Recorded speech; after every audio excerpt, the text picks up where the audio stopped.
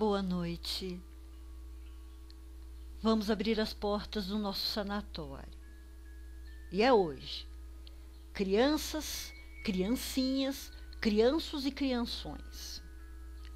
Vamos abrir a nossa ala infantil. São muitas as histórias que assustam as crianças e geralmente acabam servindo para que tirem alguma lição delas. Algumas dessas histórias acabam ficando conhecidas como lendas urbanas e passam de geração em geração, até a criança crescer, não ter mais medo, só que mesmo assim acaba tentando assustar seus filhos com as mesmas histórias.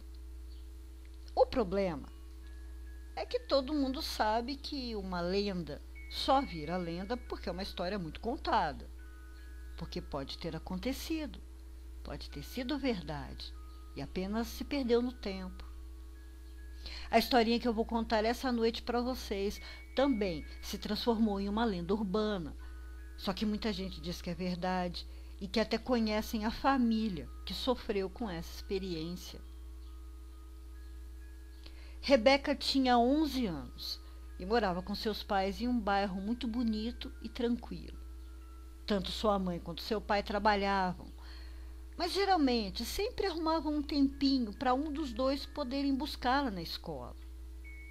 Mas naquela tarde isso não seria possível, já que a mãe de Rebeca teria que ficar até mais tarde no trabalho e seu pai estava viajando. Acreditando que a menina já tinha idade para voltar, pelo menos uma tarde que fosse, sozinha para casa, deu a ela o dinheiro para comprar comida e mandou que fosse da escola ao mercado e do mercado direto para casa. Rebeca então foi para a escola normalmente. Só que, quando as aulas acabaram, percebeu que poderia fazer uma coisa que nunca tinha feito: andar sozinha pela cidade. E mesmo depois de todas as recomendações da mãe, desobedeceu e seguiu até o centro da cidade para olhar as vitrines. Olhou lojas de roupas, de doce, comprou um sorvete e ainda sobrou dinheiro. Foi quando parou em frente a uma loja de antiguidades. Na vitrine, uma boneca, do tamanho de uma criança, de cabelos cacheados e vestido azul, chamou muito a atenção. E mesmo sabendo que com certeza seu dinheiro não ia ser suficiente para comprá-la, resolveu entrar e perguntar o preço. A menina ficou surpresa e muito feliz quando soube que a boneca custava exatamente o quanto ela tinha de dinheiro. E sem pensar duas vezes, a levou para casa. Já no seu quarto, percebeu que a boneca tinha nas mãos uma caixinha. E ao abrir, se assustou. Dentro havia três dedos e pareciam ser muito reais.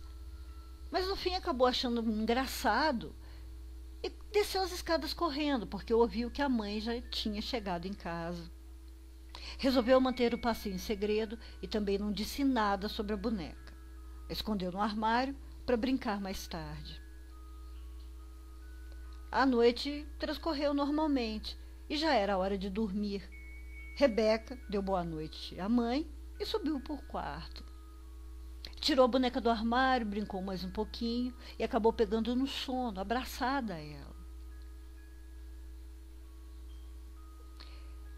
Era cerca de três horas da manhã, quando a mãe de Rebeca acordou com um grito horrível vindo do quarto da filha. E, claro, correu até lá.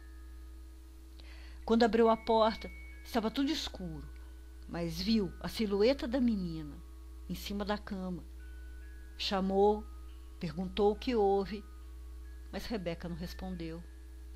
Assustada, acendeu a luz e só então viu que a silhueta não era de Rebeca, e sim de uma boneca, uma boneca horrorosa que ela nunca tinha visto antes. Mas não encontrava a filha. Procurou embaixo da cama, no armário, no banheiro, pela casa toda, foi até a rua, mas nada da menina. Ligou para a polícia. Enquanto esperava, subiu ao quarto de Rebeca e lá estava a boneca horrenda segurando aquela caixinha.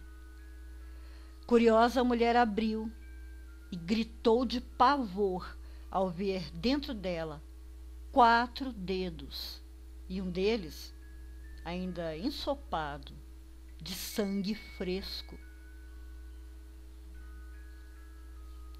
É, às vezes é melhor obedecer, né? Semana que vem eu volto para abrir mais uma vez a nossa ala infantil. Doutora Plague fechando as portas do sanatório. Boa noite. Vão dormir, criançada?